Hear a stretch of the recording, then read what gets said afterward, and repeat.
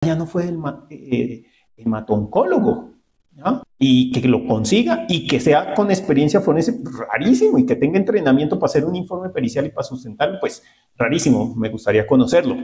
Entonces decían, ¿y usted qué piensa? Decía, pues mira, eh, en este caso, ahí es uno, una falla administrativa, dos, eh, no se presentó una falla a nivel del especialista, fue a nivel de los seguimientos y en la historia clínica está que esto estaba a cargo de otro profesional de salud decía, tienen que reenfocar.